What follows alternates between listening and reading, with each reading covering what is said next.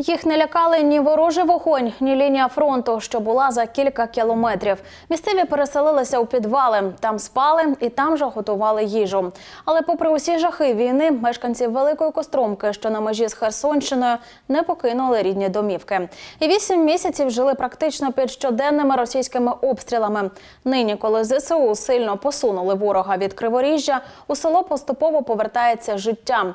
Поміж зруйнованого та спаленого мешкають люди. Хазяйнують та сіять городину, а ще саджають квітучі дерева. Як живе велика костромка? Далі. 9 іюня о, перший постріл такий був во всьому домі, вилетіли вікна, мене ранило. От, і все, і з того дня і почалося кожний божий день, і так сім місяців. Разом з донькою та старенькою матір'ю Олена сім місяців жила в підвалі. Родина на двір майже не виходила. Варили там, їсти, спали там сім місяців, днем і ночі. Ну, тобто наші будівлі, вони просто стояли та і все. Ну, без вікон, без дверей, без криш, без нічого. Кожна хвилина на вулиці могла коштувати життя. Щодня село все більше походило на руїни. Зразу повилітали всі вікна і з усіх сторон, а потім поступово сараї. От з кожним днем, от сьогодні вікна, завтра ми встали сараї, потім в школу прилетіла ракета, потім в клуб перелетіла ракета. Ну і поступово-поступово так кожен день людей повбивало, звісно.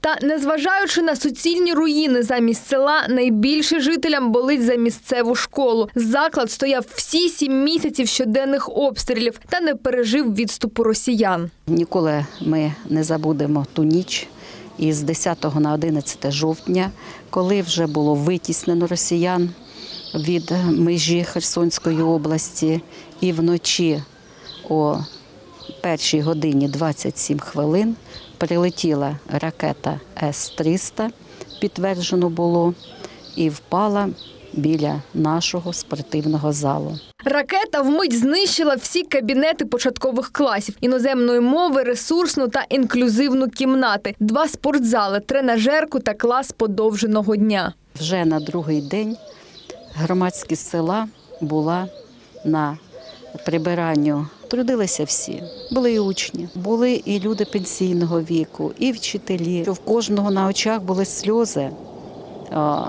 Це наше рідне село. Нам його відбудовувати. І обов'язково ми його відбудуємо. Наша школа буде краще. Контрнаступ збройних сил України відсунув росіян від Криворіжжя. З підвалів з обережністю виходили люди. Коли зрозуміли, що обстрілів стало менше, почали відновлювати будинки. Допомагають їм у цьому волонтери ООН у співпраці з Проліском та Карітас. Також ми маємо багатоцільову грошову допомогу для того, щоб люди могли покрити свої першочергові потреби, наприклад, закупити гігієну, їжу або, наприклад, сплатити за оренду житла. Також в нас є е, юридична допомога саме для тих, хто, наприклад, там втратив документи або кому не по- саме не потріб- потрібне юридичне консультування стосовно зруйнованого житла. Взагалі я бачу, що 60, е, 70, около 70 відсотків населення повернутися хочуть додому. Я дуже радий, що е, спокійно і що люди е, живуть, і е, що є майбутнє. Наче символ відродження тепер у великій костромці квітнутимуть молоді павлонії. Їх разом з селянами висадили представниця ООН у справах біженців, делегація посольства Норвегії, посли Швеції та Нідерландів.